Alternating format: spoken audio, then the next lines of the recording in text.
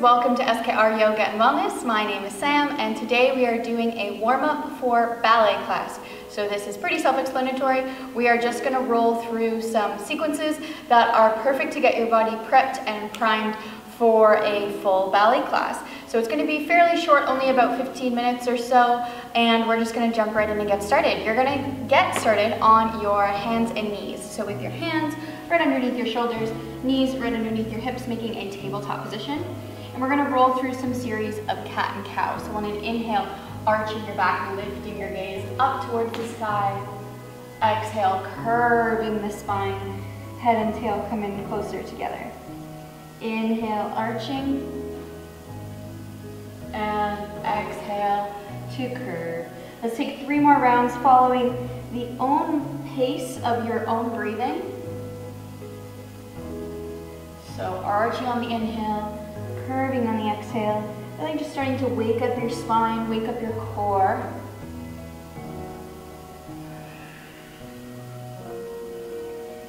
And last round.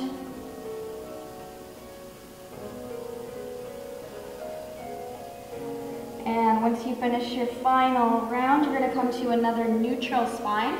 So feel your belly button pulling in towards your spine in this position. And we're gonna fire up the core a little bit more. So from here, extending your right arm and left leg and lifting those limbs up into the air, keeping your belly button pulling in. And then on an exhale, bringing those limbs back down. Inhale, reaching left arm and right leg. And exhale, back down. Opposite side, trying not to um, arch through the lower back at all. So we're keeping the core nice and strong. Nice, everything is nice and engaged. We're not letting the belly dip towards the floor. Right arm, left leg, inhale up. Exhale, place it down. Inhale, other side. Exhale, back down. One more round. Also trying to maintain a parallel position here with that back leg as we lift.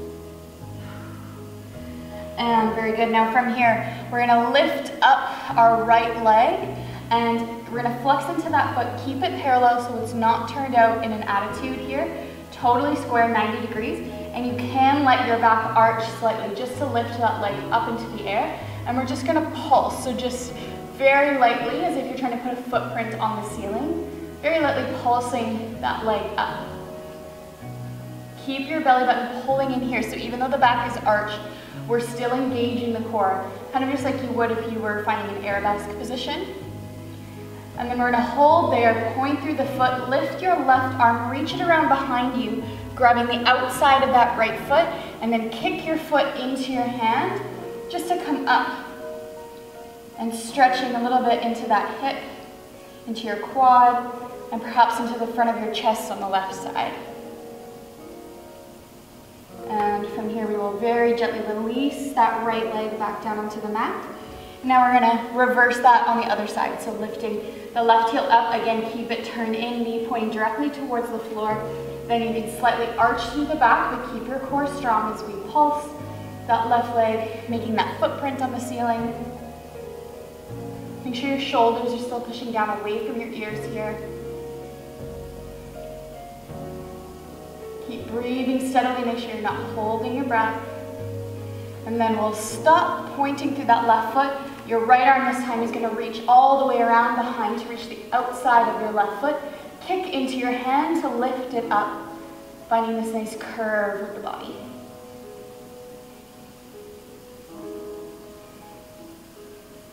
Breathing deep. And we will gently release that leg and arm back down onto the mat. From here, you're gonna bring your knees all the way together, tuck your toes, place them on the mat, and then just send your hips back towards your feet. So really stretching into your arches, into the soles of your feet here. You might notice on one foot your toes are closer to the mat than the other, which is totally normal. But just breathe through that stretch, stretch for a couple of breaths. And then we're gonna lift the arms all the way up overhead and on an exhale, you're gonna twist towards the right, bring your arms forward and back. And then inhale, back to center. Exhale to twist. Inhale, back to center. Exhale, twist. Inhale, center. And exhale, twist. You might start to feel this in the feet a little bit. And exhale to twist. Inhaling up. Really twisting from your navel. And up. Last round. You got this. To the right. And center. And left. And center. And we'll release forward. Just stretch through those feet. Maybe tap them onto the floor. That's of course really good to stretch out your feet for your demi pointes and rises and releves, all of that great stuff in your ballet class. The next thing we're gonna do is just send your arms back. So they're back behind you, fingertips pointing forward, and then you're just gonna lift up. So lifting those knees off of the mat and just allowing the front of your ankle and the front of your foot to kind of stretch a little bit more. And you might need to play with uh, where your hands need to be in order to feel this stretch the most. But again, just really warming up those feet, which are of course very, very important for us in ballet. And lowering the knees. Bring your hands forward, tuck your toes, and make your way up to your first downward dog. And since this is our first down dog, you can paddle through the feet, shake your head out yes and no to release the neck, let your shoulder blades wrap around your ribs. Lots of space for your neck. So from this down dog, we're gonna lift the right leg up towards the sky. You can allow your hip to turn out. So lifting that leg as high as it'll go and then bend into that knee, just so we can open up that hip a little bit more. Really breathing into the stretch. And then on the exhale, swing that foot forward, step it in between the palms and drop the back knee. So we're coming up to a low lunge. So feel your core engaged, knee right over top of your ankle, arms reaching up overhead, right beside your ears, nice and tall. Feeling that stretch to the front of your left hip flexor. So of course in ballet we want to have really long hips and we don't want to grip through the hip flexors at all. So trying to find length through this stretch. Now from here, keep the arms as they are, just tuck your back toes and then lift yourself up to a high lunge. And right away feel that core again nice and strong. Reaching out through that back heel. Two more breaths. And now from here, you're gonna push yourself up, swing your arms down into warrior three. So stepping up to the top of your mat. And now keep this back leg turned in. So the toes are pointing directly towards the floor. Knee is also towards the floor. And we're totally parallel. And now from here, we're gonna bend into that left knee and stand all the way up. And then we're gonna come back to that warrior three position. Again, just like that, standing all the way up. Feel that engagement through your right hamstring as we stand and then back to warrior three. Twice more, just like that. Let's inhale, pushing to stand, and then exhale to take it back down. Last one, inhale, pushing to stand, and now from here you're gonna cross that left heel over the top of your right thigh, send your hips back as if we're sitting in a chair, and then just stretching through the outside of that left hip. So we're in a standing pigeon pose here. You can keep your arms in front of your chest or extend them up overhead right beside your ears. Make sure you keep flexing through that left foot so we protect the knee.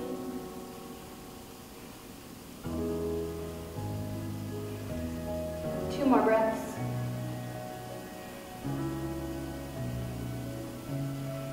And we'll push to stand once more. Send that left leg back and it's going to make about a 45 degree angle around the center of your mat. On an inhale, grow and get taller, and then exhale, just let your body fold forward. Your arms can come down towards the mat. And we're just coming to this pyramid pose, relaxing forward, letting that right hamstring that we just worked relax a little bit more.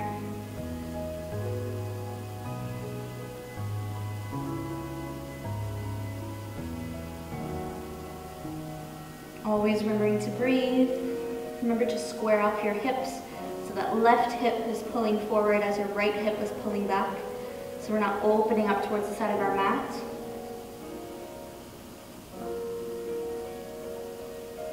And now from here, step that left foot up beside the right. So they're about hip width distance apart. Let your knees bend and just let your body hang over top of those legs.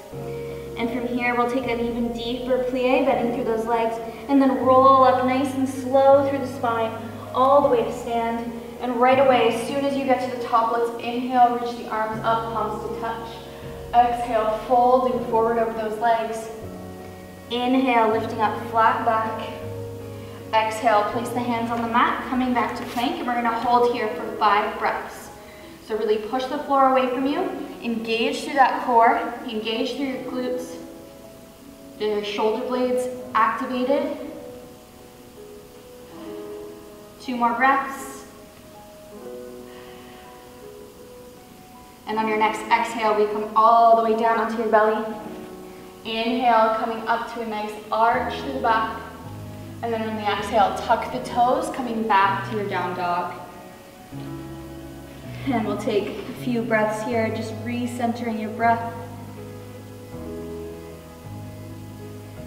Notice how your right leg maybe feels different than the left. Perhaps your right heel is closer to the mat. And if it's not, that's okay too. Just taking note, noticing where we're at at this stage in our practice. And we'll go ahead and even ourselves out. So on your inhale, lifting the left leg up to the sky. Again, you can allow that hip to open up and turn out. And then bending into that knee.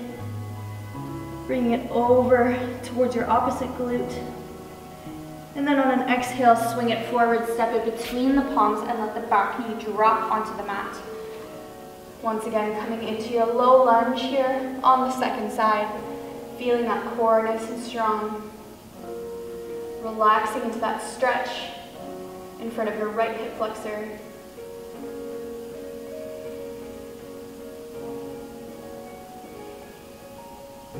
And now keeping your arms as they are, tucking your back toes, lifting yourself up to a high lunge, so intensifying that stretch, intensifying this posture. Still feeling nice and long, strong, grounded. Now from here, we're gonna swing the arms forward and down, stepping all the way on up into warrior three. It's really powering in through that left leg. Make sure that right hip is turned in. Everything is parallel to the floor. And then we're gonna push to stand, lifting that knee. And then extend it back out behind you to a parallel position. Inhale, pushing to stand. Exhale, take it back. Inhale, push to stand. Feel that engagement through your left hamstring. And back to warrior three. Last one, inhale, pushing to stand. This time, flex the right foot, cross it over top of your left thigh. Send your weight back, standing pigeon on the right side.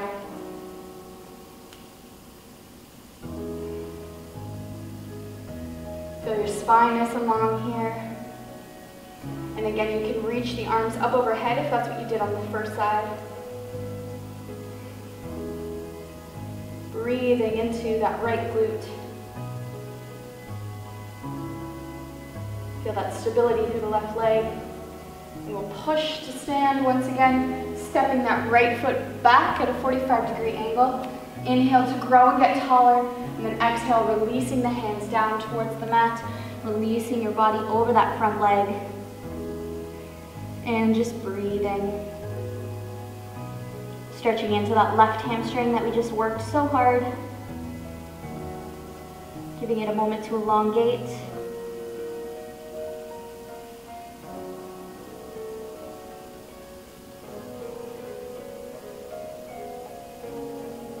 And from here, we'll step the right leg in to meet the left, finding another ragdoll fold. Maybe this time you can grab opposite elbows. Really allow your upper spine to dangle over those legs. And from here, we'll take a deeper plie and then slowly roll up through the spine.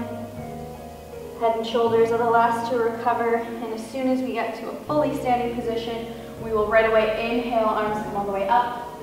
Exhale, folding forward over those shins. Inhale, halfway lift.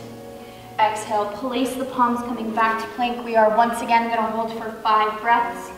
So really engaging through the core. Push the floor away from you. Two more breaths, you got this. And on your next exhale, coming all the way down onto the mat. Inhale up. And exhale, tucking the toes back to downward dog.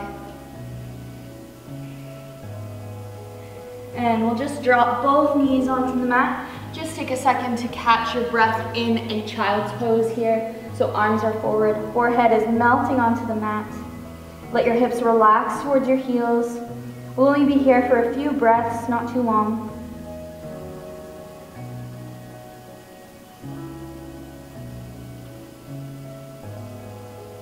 So slowly lift your forehead off the mat, walk your hands back in, and then we're actually gonna make our way all the way down onto your stomach. And now you're gonna turn onto your right side. So turning onto your right hip and then bring your legs so they're bent underneath you, but your hips are, or sorry, your feet are still in line with your hips. So we're not curving the legs too close towards us. We're still making this one straight line with the body. And then you can come down onto your elbow here. And I like to place my hand on my hip as I do this, but you can also have your left hand down on the floor here. So all that's gonna happen is in this position, we're gonna open up to turn out and then come all the way back down. And then open up and back down. So of course here we're activating our turnout muscles, just starting to engage the piriformis and our external rotators in your glutes that are gonna help us throughout our class.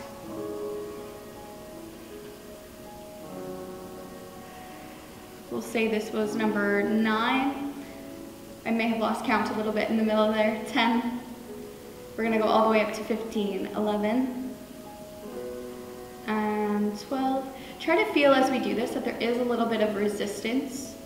So we're not just flopping the knee open and closed, we're pushing something heavy away from us. Let's do two more here. Two, back down, and one. And now stay on this side. You can walk your left foot in, so you're making almost like a retire position with this foot, with that uh, the sole of your foot flat on the floor, and then you're gonna turn out to your right leg, so your heel should be pointing up towards the ceiling. Your arms will stay the same here, and then we're just gonna lift that right leg up, and we're gonna pulse it 50 times. So I'll let you count this one on your own. Just make sure that you're really lifting that leg, engaging your inner thigh here is what we're going for. Again, something we definitely need for ballet class. So do another 20 to 30 pulses or so. You may start to really feel that inner thigh engage. And we'll release you can roll over onto your other side. I'm just gonna flip myself over so I'm still facing the camera and I don't turn away from you. So again, setting yourself up, your left hip on the floor, feet right in line with your hips. And from here, opening up, finding that turnout and placing the knee back down. Again, trying to work as if you're pushing something really heavy away with your knee and also finding resistance as you close those knees back together. So we're really trying to work those muscles.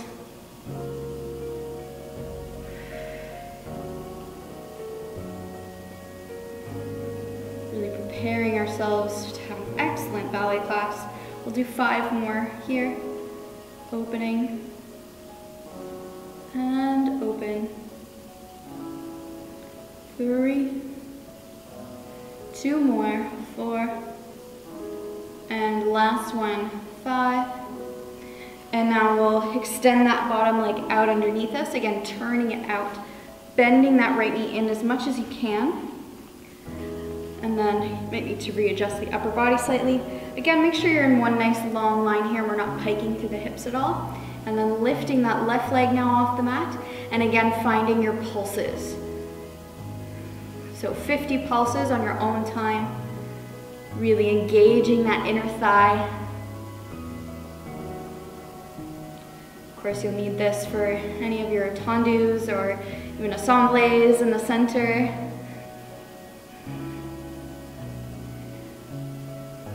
Of course, once again, I've lost count, but we'll do another 20 or so here. That's what happens when I talk and demonstrate at the same time. And five, four, three, two, and release. Make your way back up to a seated position. And you're gonna open your legs out to a straddle and just get yourself comfortable. And we're just going to take a passive stretch forward so we don't have to activate or stretch to the feet or flex or anything like that. Just passively walking the hands out, stretching those inner thighs that we just worked, stretching into those legs. Let your neck relax. Just let your breath return to normal. Let your heart rate return to normal.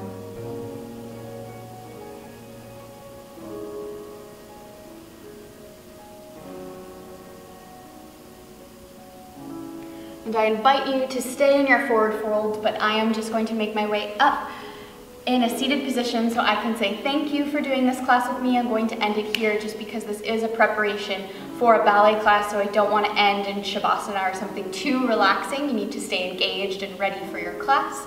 Please don't forget to like and subscribe to SKR Yoga and Wellness. I release new videos for dancers every single Friday. So thank you once again so, so, so much and have a really great ballet class. Bye!